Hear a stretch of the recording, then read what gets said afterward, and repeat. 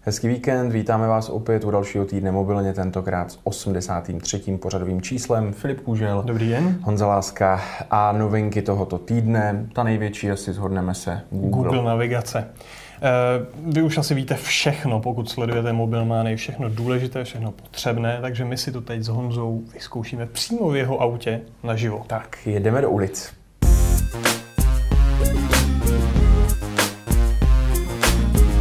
Jak vidíte, my už jsme v terénu, jsme tady proto, aby jsme se svezli Honzovým kočárem a hlavně, aby jsme si ukázali Google navigaci v akci a zaměříme se na to, jak naviguje offline. Takže my si teďka, pojď Honzo blíž, eh, vyhledáme trasu. My to tady máme připravené, takže by to mělo být velice rychlé. Teď sledujte tady nahoře ikonku HSDPA, jak tam tečou data, to si právě ta navigace připravuje ta data na tu cestu a my chviličku počkáme, až to přestane blikat, což bude znamenat, že je eh, nakešováno ta mapa dopředu. Já myslím, že Honzo, že už to je. Ano. Už to nebliká. Takže já jdu na domovskou obrazovku, do nastavení a vypnu data, aby jsme telefon odřízli od sítě, což je tohle tlačítko. A v tento moment jsme kompletně bez internetu a teď se prostě vrátím do té navigace a Honzo, my jdeme do auta. Jdeme na to. Tak Jedem. Honzo, můžeme? Vyrážíme, právě projíždíme první křižovatkou.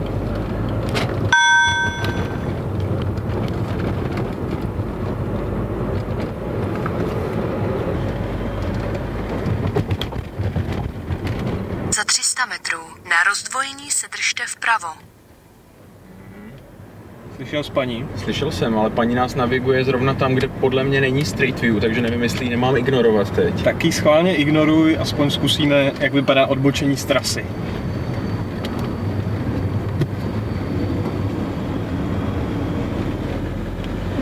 Dobře, takže jedu. Na rozdvojení se držte vpravo.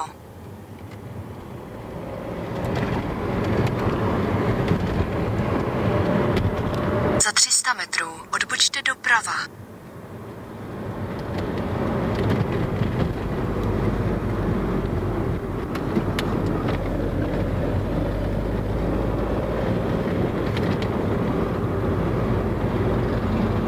Odbočte doprava.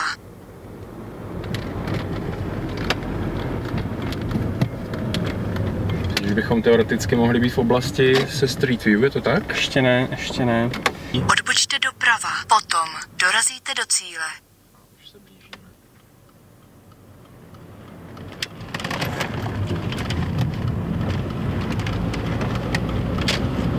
Jste v cíli.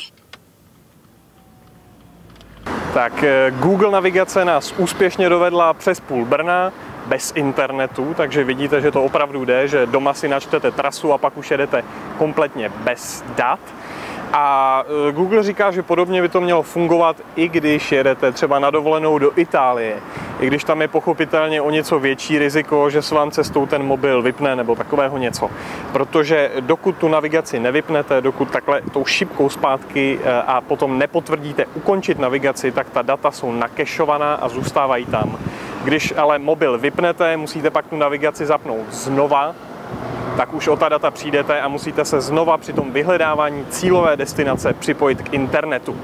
Tak, to byl pokus offline, teď to zkusíme online, eh, čili s připojením internetu a protože budeme projíždět oblastí, ve které je Street View, tak si zkusíme tuhle specialitku. Paní nás naviguje asi jinou cestou a my se vydáme doprava teď.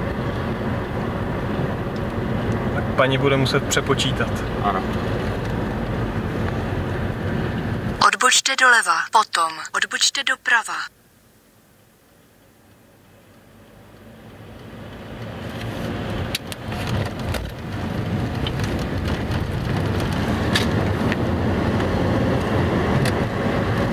Za 800 metrů odbočte doleva.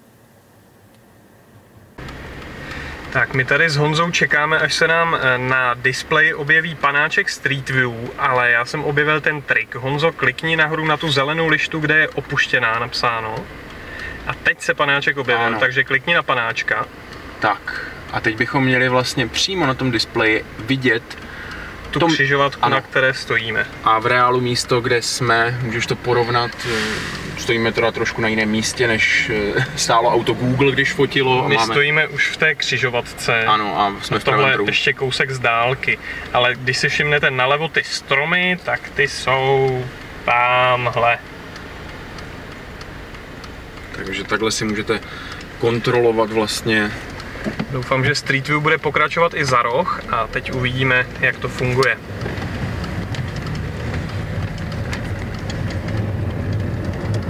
Za 500 metrů mírně doprava. Tak, teď se nám právě zobrazila další křižovatka, na které budeme odbočovat. Hlasové povely pokračují a šipka vlevo stále odpočítává a ukazuje. Zkus se ještě podívat do reálu, jak to vypadá, že jsme opravdu v té ulici. Už Oni tamhle ty mrakodrapy už zase povyrostly trošku. Tak, a teď nás to bude navigovat zřejmě doprava, takže paní už poslechneme tentokrát a Tak, na Mírně doprava. odbočka, ke které my se teďka blížíme. To je ona. Za 600 metrů odbočte doprava. A právě nám skončilo pokrytí Street View, takže to byla další ukázka.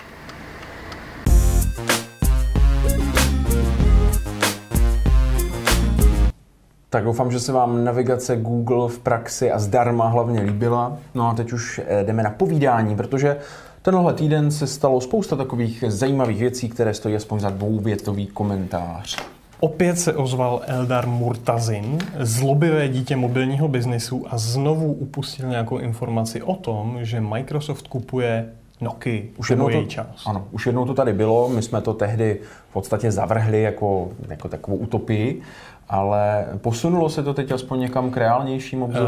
Eh, Posunulo se to. On tehdy sklidil obrovskou kritiku, tak Hmm. já bych se divil, že prostě teď s tím přišel po druhé a on přišel s tím po druhé na svém Twitteru a uh, uveřejnil tam cenu, že to bude 19 miliard dolarů. Hmm. No a krátce na to vlastně přišla oficiální odpověď od Nokia, že nic takového není pravda. A shodou okolností Steven Elop byl v jednom videorozhovoru Hmm. a tam se kategoricky vyjádřil, takže eh, tyhle informace nejsou založené na pravdě. Tak, já tady mám T-Mobile, ten e, taky e, uvedl jednu věc, která není tak docela pravda, ale tak známe ty marketingové větičky. E, údajně T-Mobile Move má být vůbec nejlevnějším Android mobilem na našem trhu. E, je pravda, že tedy T-Mobile Move bude patřit úplně k těm nejlevnějším. Je to nový brandovaný telefon, který si T-Mobile nechává vyrábět u čínského Alcatelu, takže vlastně po loňské zkušenosti s T-Mobile Very Text, co určitě pamatuješ, to byl takový ten messenger, asi se spolupráce na tomto poli osvědčila, takže tentokrát T-Mobile Move. Eh, Telefon v podstatě jednoduchý, nejpodstatnější je ta cena 3100 bez dotace. Já si myslím, Honzo, že to není nejmíň. Není to nejmíň. Vodafone už Ano. hrozně Eh, dlouho má svoji 845. Přesně jak říkáš, ale tak eh, s přihlednutím na to, že to je loňský model, tak dejme tomu, že se to nepoměřuje. Nicméně Vodafone, jak už jsme si taky tady říkali, oznámil, že bude mít svůj levný nový Android, tuším 858 Smart, jestli to říkám správně. Takže ty ceny budeme srovnávat asi až v okamžiku uvedení toho Vodafone. Dobře. Eh, Mobily jsou rakovinotvorné, představte si to. Eh, Víte, že v posledních letech se objevuje, že ano, že ne, že mobily škodí, že neškodí. Teď se pod eh, tenhle výzkum podepsala Světová zdravotnická organizace, což je prostě obrovská organizace s obrovským vlivem. Hmm. A proletělo to všemi médii a už málem začala vznikat panika. Pak ale se někdo podíval trošku do podrobností, do dokumentů, který oni vydali a přišlo se na to, že zařadili mobily a záření z nich do stejné skupiny eh, karcinogenů, což jsou rakovinotvorné látky, jako čaj, káva, kola, kokosový olej Hmm. nebo nafta. Takže eh, Podle zdravotnické Tohle- organizace je možná celý náš život rakovinotvorný, když to tak bereme. ano. Eh, My tady asi nerozlouskneme s Honzou, jestli mobily způsobují nebo nespůsobují rakovinu. Eh, Věřte, čemu chcete, ale Řekl bych, že to se, pokud ano, pokud vůbec něco takového mohou způsobit, tak se to neprokáže na nás, ale třeba až na několika generacích po nás. Takže možná. myslím si, že tohle vůbec není aktuální, eh, co bychom měli řešit, ale třeba taková perlička z Prahy, kde se opět opakoval už po několikáté akce Přenocuj a dostaneš slevu eh, pod hlavičkou HTC a tentokrát s ním i Vodafonu. Ty jsi to přejmenoval takhle, jo, tu akci? Já nevím, to se tak jmenoval, nemenovalo? Ne, to je něco přijít a budeš mít za polovic. Ty jsi to přejmenoval na Aha. Přenocuj. Aha, no dobře. Tak ono už to tak je prostě. bylo to no. nutné, protože prostě s pokračujícími akcemi ty lidi chodí čím dál dřív a tady na tento telefon HTC Sensation vůbec vlastně vlajkovou loď eh, téhle tajvanské společnosti se čekalo 38 hodin před zahájením prodeje, což je vlastně celá noc, celý den a ještě jakoby celá noc. No. Říkám to správně? No, dvě noci celý den, no. To je strašný. Tam bych teda... dlouho. No, ale nicméně to by jako bylo v pohodě, je léto, dá se tam vzít karimatka nebo spacák a dá se to přežít, ale to by tam nesměl být někdo, komu se to nelíbilo. E, zastavila se tam policie a všichni ty účastníci se jako bouřili a na internetu, tak Mhm. prvoplánově, co tady chcete, nemáte být někde jinde, hlídat bezdomovce. Mhm. Jenže víte co, oni na té ulici eh, nocovali, dvě noci tam Mhm. bydleli No, jo. jako bezdomovci, takže, Takže policie dělá svoji práci, takže aspoň se je zkusme, mm, já nevím, nezlobit se. Ne? Chápat, ano. Hmm. Tak, ehm, ty tady máš nějakou další novinku. Já tady mám Asus Padphone, To zní teda hrozně. Jak to budeme Honzo číst? No, pet-. Petphone. Petphone, eh, což je tablet, který je eh, vlastně jenom dock, jenom display a repráčky, do které se vloží mobil, takhle ze zadu, zaklapne se to dvířky Hmm. a ten mobil to bude pohánět. Tak jak je Motorola Etrix a její laptop dock, do které Hmm. se to zasune. Eh, Co na to říkáš, na tenhle nápad? Mně se to líbí, navíc chválím Asus za to, že je takovým inovátorem v oblasti konstrukcí. Není to první přístroj od něj, který nás zaujal. Asus Transformer nakonec Hmm. hmm. testoval v uplynulém týdnu. Takže to bylo taky takový pěkný, eh, pěkný zařízení. Já s tebou musím souhlasit. Je naprosto fantastický, že někdo něco takovýhle, eh, hodlá vyrobit. Ale my jsme se tady s Honzou bavili, že to praktické využití si nedovedeme úplně představit. Tak u toho Transformera tam to bylo jasný. Tam To prostě bylo skvělý. Jakože v podstatě náhrada malého notebooku, ale tady u toho Petphoneu, který e, vlastně je jakoby kombinací tabletu a mobilu, tak eh, jediný, mm, jediný okamžik, kdy jako já bych viděl, že by to mohlo být vhodný pro někoho, že člověk si zároveň kupuje nový telefon i tablet a chce to mít jakoby se slevou, protože já předpokládám, že kdyby si koupil zvlášť telefon a zvlášť tablet, ať už jakékoliv značky, tak zaplatí víc než tady za tohle zařízení. Byla tam řeč o ceně nebo zatím se neví? Eh, ono to bude až na podzim, takže na cenu je hrozně brzo. Ale víme, že Transformer bude stát, kolik jsme říkali, 12,5 12 i s tisíce. Což je docela rozumná cena, takže ani tahle hračka by nemusela být drahá. Takže Asus chválíme rozhodně. Jo? No a ještě nějaká novinka? Tak já nemám tady mám Nvidia Tegra Cal L v Taipei, což je kde? V Malajzii, eh, se koná veletrh Computers. A firma Nvidia, která dělá Tegry do těchto, do toho zrovna ne, To ne. do eh, našich úžasných dvoujádrových Tady je, tady je, ano. To je jedno jádro. A to je jedno jádro, promiň, já jsem si zase myslel, že tu máme dvou X. Dobře, vy jste to Zkrátka, neviděli. nebudeme se do toho zapletat. Nvidia ukázala Tegru 4, eh, respektive prototypy prvních tabletů, které mají Android a v sobě ten čtyřjádrový procesor. Eh, Ty tablety by se měly začít objevovat někdy začátkem příštího roku.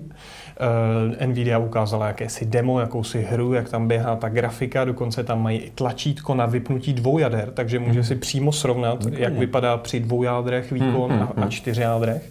Eh, nevím, jestli je to úplně potřeba, třeba pro mapy nebo pro nějaké takové běžnější záležitosti, ale mohla by se z tabletů stát herní platforma. No a já myslím, že to je jedna z věcí, se kterou se u tabletů rozhodně počítá, protože kromě internetového brouž, brouzdání a kromě třeba čtení knih, si myslím, že hry jsou hlavní zacílení těch tabletů. Víš, na co Honzo čekám? Teď mě tak napadá. Na autobus už ti pojede za chvíli. Eh, Pojedu autem. Eh, Na těch dotykových mobilech se hrozně špatně hraje. Víš, jak se musíš trefovat do těch virtuálních tlačítek. No tak, Proč někdo ještě nepřišel jako ve větším s nějakým Bluetooth herním gamepadem, game to nevím. věcou? Asi, se, asi by to nebylo úplně přesný to ovládání. To necháme radši na vývojářích, do toho se pouštět vůbec nebudeme. A možná bych nechal na příště i tuhle naši další věc, kterou jsme si tady nachystali, protože eh, o tom budeme moci mluvit aspoň v příštím týdnu mobilně, co ty na to. Tak jo, takže my ani neřekneme, co to je. Ne, ale eh, když už jsme nakousli tady to s tím telefonem, tak tohle je prosím LG Optimus eh, Black. Já jsem si nejdřív spletl to s tím, že by to mohlo být Já dva jsem byl taky zmatený, oni jak to tam mají, vypadají podobně. mají ten 3D Optimus, eh, Tak, Black tak. Optimus a 2X Optimus. Tak, Každý má něco. Tak tohle je sice jedno jádro, ale má dvě speciality. Jednou je Nova Display a tou druhou je jedno speciální tlačítko, tak my se na to teď podíváme v krátkém preview.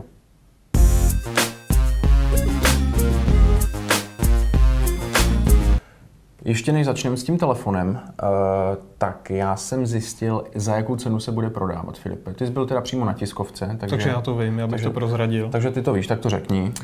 9900, pamatuju si to dobře. Pamatuješ, ale mám ještě jednu informaci, která je teda nová, možná ji vědět nebudeš. Vodafone je jeden z operátorů, který zařadil tenhle telefon do nabídky. A v nedotované verzi je ještě o tisícovku levnější, takže stojí 8977 nějaký typ. Nedotované. nedotované verzi. Takže proč by ho někdo kupoval za 10, když ho může mít za 9? Ano, přesně tak. tak Zajímavé. takže eh, mně přijde, že v eh, poměru cena výkon se tenhle telefon dostává na přední příčky, eh, takového pomyslného Hmm. žebříčku, že prostě za tu cenu je to hodně dobrý smartphone a já už mám teď zapnutou kameru, takže se můžeme na něj podívat Právě zblízka. to, co o tom mobilu chci říct, to není takový úplně ten hardcore, jako je Sensation, jako je Galaxy S2. Eh, Tohle je jedno jádro, i když má taky 1 GHz. Takže je to, je to trošku pod stupínkem to, toho největšího výkonu, ale je to docela sympatický mobílek. Hmm. Natáčí krásné video, my jsme to s Honzou zkoušeli, umí ostřit při natáčení, což není taková samozřejmost. Neumí Ukážu to vám to. iPhone, neumí to Nokia N8. Myslím si, že iPhone 4 to zrovna umí, ale N8 to neumí, to je pravda. No a pojďme na to teda. Zapínáš. Tak, je to zapnuté a máme tam rovnou tuhle pohotovostní plochu, která úplně září. Jak je to možné, že to jsou tak kontrastní a jasný To je právě to, na co bude LG lákat zájemce o tenhle mobil. To je Nova Display, má čtyři palce úhlopříčku, má rozlišení 800 na 480 pixelů hmm. a ten displej je naprosto nádherný. Eh, Když jsme byli na tiskovce, tak oni nám tam ukazovali jakési grafy, jak který displej září, jak září displej iPhoneu a tenhle Black je prostě nejlepší. Eh, Dosáhli toho tím, že tam je nějaké silnější po- podsvětlení. Mhm. Takže připomenu, že to je vlastně IPS display, v podstatě stejná technologie, jakou má iPhone, ale Je to vlastně stejný výrobce. je to vlastně Jako stejný výrobcem, přesně tak. A musím říct, že opravdu, když s tímhle mobilem jdete ven, tak to funguje naprosto fantasticky. Ten displej je skvělej, je perfektně vidět. Mhm. A? A LG se taky hodně chlubilo eh, tím designem. Já jsem teda v reálu byl trošku zklamán. Mm, je to takové plastové, já to otevřu takhle, abychom viděli, že je to vlastně taková vanička, Mhm. do které se ten mobil takhle zasadí. Eh, Co se té kompaktnosti a pevnosti týče, tak si myslím, že je to docela dobré. Přece jenom ta záda celé, celé to je jeden kus, takže Mm, mm. Přesto měl jsem, měl jsem pocit, už, už v Barceloně jsem měl pocit, že ta záda jsou jiná, nevím, jestli to LG Hmm. nakonec nezmínilo, že to bylo snad i tenčí, ale možná jsem se zase rozmyslel těch Jestli dalších. se Honzo nepleteme s tím uh, Další. 3D Optimem. Byl ještě Eh, tenčí. nicméně, ještě jedna zajímavost je na tomhle mobilu. A já to natočím takhle na box, na to kamera zaostří. A to je to tlačítko s Gčkem. Tak já tomu zkusím dát prst, protože to není Tak vidět. já dám prst. Už je vidět Gčko. Ne. Teď je vidět, dál. ano, teď je vidět. Tak, tohle je tlačítko s Gčkem. A LG s ním má velké plány. Sledujte, co je v nastavení tohohle telefonu hned na prvním místě. Jsou tam gesta. Takže upravená, upravený Android trošičku. A tenhle mobil se totiž dá ovládat eh, pomocí G-senzoru, což je vlastně senzor přetížení, gyroskop, eh, říkejme tomu, jak chceme. A tady jsou jednotlivé položky, jednotlivé způsoby ovládání, co přes ten Mhm. G-senzor jde dělat. Tak toho je docela hodně, zkus nám je něco to hodně. ukázat na mátku. Eh, něco si, eh, právě šikovné je, že jednotlivě si ty způsoby ovládání můžeš zapnout. Eh, Hnedka pod názvem máš vysvětlení, jak se to dělá, co to dělá. Takže pojďme si ukázat dvě věci. Pojďme do galerie. Spustíme si obrázky. No tak šup. Máme obrázek a Ty. Takhle se posouvají To znamená, ty držíš to tlačítko u toho, nebo Ne, ne, jenom ne, tak? ne, ne. ne? Tentokrát ne. Některé ty, eh, ta gesta jsou právě s držením tlačítka, to si ukážeme pak, a některé jsou jenom takhle poklepu do mobilu. Aha. No, to je nádherná fotka. Krásné. Tohle je náš mikrofon. Tak, jedna ukázka a druhá ukázka je rychlé zapnutí foťáku. Bohužel to nejde takhle při vypnutém. Musíte mít tu pohotovostní obrazovku. Mhm. Teď stisknu G tlačítko, zaklepu a mám fotoaparát. A dá se tam nastavit třeba jiná aplikace po zatřepání, nebo to musí Já se obávám, že takhle ne, že prostě to jde jenom vypnout nebo zapnout. Takže ještě jednou musíte zmáčknout vrchní tlačítko, bohužel, Hmm. protože- stisnout G, Protože zaklepat a už fotíme. mezi námi pojďme se podívat na pravý bok.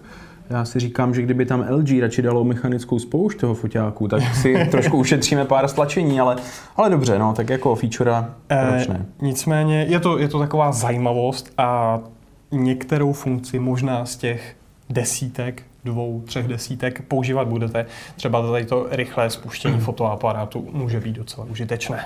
Tak to bylo malé preview LG Optimus Black. My vám potom někdy v příštím týdnu ukážeme, jak tenhle telefon natáčí, taky jak fotografuje, no a potom už se můžete těšit pochopitelně i na celou recenzi. No a tímto bychom vlastně mohli ukončit dnešní díl týdne mobilně. U toho příštího se na vás budeme těšit. Opět na viděnou, hezký. Na viděnou.